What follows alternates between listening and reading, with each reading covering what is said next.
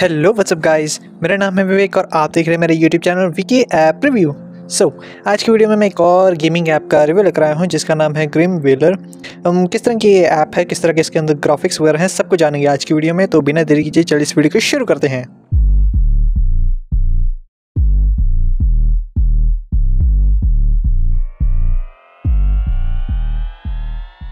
Okay okay, तो ये इस गेम का कुछ इंटरफेस है जहाँ पर आप इसको जब पहली बार खोलेंगे तो कुछ इस तरीके का कुछ दिखाई देगा। तो मैं यहाँ पे कंटिन्यू में करके एक आपको जो इसके अंदर मैंने थोड़े बहुत लेवल्स खेले हैं वो एक बार आपको दिखा देता हूँ कि किस किस तरह के इसके अंदर लेवल्स वगैरह दिखाई देते हैं। तो जैसे ही मैं इसके अंदर एंटर होता हूँ तो यहाँ पर आप देख सकते हैं कि कई सारे इसमें ऑप्शंस हैं अटैक करने के और आगे पीछे होने के। तो सिंपली आगे पीछे होने के लिए मैं ये वाले लेफ़्ट वाले में जो एरोज़ है उनको इस्तेमाल करूँगा। और हमला करने के लिए यहाँ पर एक तलवार टाइप कुछ है। उससे मैं एक मिनट ये फेसबुक की ऐड भी कई सारी आती रहती हैं तो सॉरी, उसके लिए। तो मैं कह रहा था कि इसके अंदर कंटिन्यूसली अटैक करने के लिए वैसे ही तलवार के ऊपर उसके ऊपर टैप करके रखना होगा। और अगर ये फास्ट फॉरवर्ड करने के लिए तो इस तरीके से। और अगर जंप वगैरह करना है तो इसकी मदद से आप इसे, इसके अंदर जंप वगैरह कर सकते हैं। तो इसका, इसके तरीके कुछ इसका कंट्रोलिंग्स है। और जहाँ तक मैं इसके साउंड इफ़ेक्ट की बात करूँ तो इसके अंदर थोड़ा बेहतर हो सकता था साउंड इफ़ेक्ट जैसे कि मान लीजिए मुझे इसके अंदर चलने की और उसके हमला करने की आवाज़ थोड़ी और बेहतर होनी चाहिए थी। और इसमें सभी मॉन्स्टर्स एक जैसे ही दिखते हैं मतलब कुछ कुछ ही हैं जो थोड़े बहुत अलग दिखते हैं। वैसे मोस्टली इनमें सब मॉन्स्टर जो होते हैं, इसमें एक से ही दिखते हैं। और अगर मैं इसके अंदर कंट्रोलिंग वगैरह की बात करूँ तो कंट्रोल वगैरह में तो ये अच्छे से काम करता है।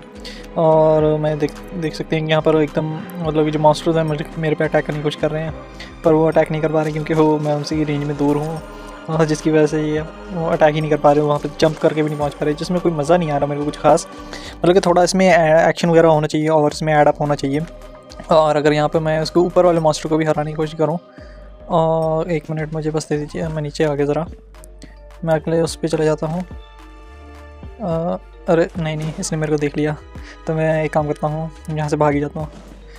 ओहो कमान चलो जाने दो। ओहो, ये तो मेरे को जाने ही नहीं दे रहा। अच्छा मेरे को मतलब किसी को मारना पड़ा, वो लेना पड़ेगा। तो ये कुछ ज़्यादा ही तंग कर रहा अभी। मैंने ये क्या कहा कि मारना चाहिए, पर इन्होंने कुछ ज़्यादा ही कर दिया इस बार। इसको मेरे को ज़रा ख़त्म कर लेने दो। ओके बहुत ईजिली मर जाते हैं बहुत मतलब कहने का मतलब बहुत जल्दी मर जाते हैं इसके अंदर मॉन्स्टर वगैरह। और यहाँ पर मेरे को वो चीज़ मिल गई है, वो जो की सी होती है उसके अंदर, जिसके पार करने के लिए। तो सबसे पहले मैं उस की के थ्रू इस वाले लेवल को पार कर देता हूँ और उसके बाद इसका ओवरऑल रिव्यू देता हूँ मैं।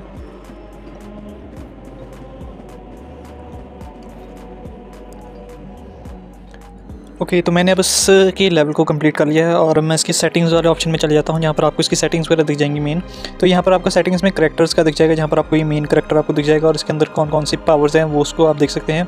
और इसके नेक्स्ट वाले ऑप्शन में अगर मैं जाऊँ तो यहाँ पर वेपन्स का है जहाँ पर आप अपने वेपन्स वगैरह चेक कर सकते हैं।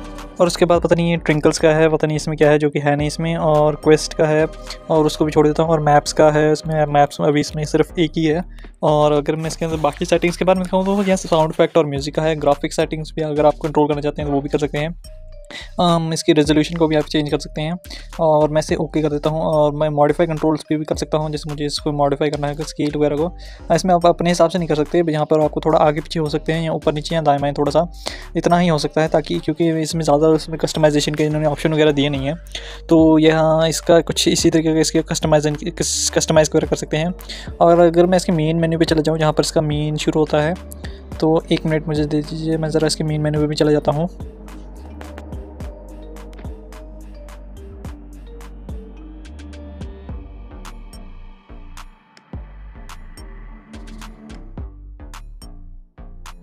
ओके तो अब हम इसके मेन मेन्यू पे आ गए हैं तो अब इसकी ओवरऑल रिव्यू की बात करते हैं। तो ओवरऑल रिव्यू मेरी ओर से तो यही रहेगा कि मुझे कुछ खास पसंद नहीं आई गेम ये, और जहाँ तक इसकी रेटिंग की बात है, अगर मुझे इसे रेटिंग देनी हो तो मैं इसे पाँच में से थ्री स्टार की रेटिंग दूँगा। थ्री स्टार इसलिए कम क्योंकि इसमें थोड़ा एक्शन वगैरह इनको और ऐड करना चाहिए। थोड़ा ग्राफिक्स वगैरह ग्राफिक्स वगैरह तो चलो ठीक है, उसमें कोई दिक्कत नहीं है। इसमें थोड़ा और एक्शन वगैरह ऐड करना चाहिए और इसमें थोड़ा साउंड इफ़ेक्ट थोड़ा और डालना चाहिए, जैसे कि चलते फिरते और या फिर किसी एक्शन कुछ भी एक्शन कर रहे हो तो उसमें थोड़ा बढ़िया एक्शन इफ़ेक्ट आना चाहिए साउंड इफ़ेक्ट और बाकी मुझे इसके अंदर कोई लैग वगैरह देखने को नहीं मिला। बस इसमें थोड़ा इसकी एक्शन की थोड़ी थोड़ी सी कमी मुझे लगी।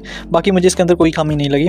तो ये था इसका गेम का कुछ रिव्यू ग्रिम वेलर तो कैसी लगी आपको ये वीडियो और अगर ये वीडियो पसंद आए तो लाइक और सब्सक्राइब कर देना और बेल आइकन को हिट कर देना ताकि इसी तरीके की वीडियोस कभी मेरी मिस ना कर सकें। तो आज की वीडियो के लिए बस इतना ही। जय हिंद, वंदे मातरम। बाय